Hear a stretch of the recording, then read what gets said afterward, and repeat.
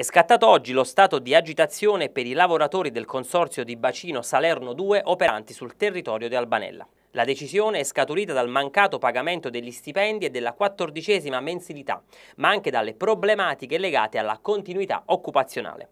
Da circa un anno, e quanto si legge nel documento dell'organizzazione sindacale Filas Campania, le maestranze subiscono gli effetti del rimpallo di responsabilità tra comune e consorzio e non si è riusciti a porre in essere un incontro partecipato e finalizzato alla risoluzione delle problematiche. I lavoratori, conclude la Filas, vivono un forte disagio che potrebbe sfociare in azioni incontrollabili.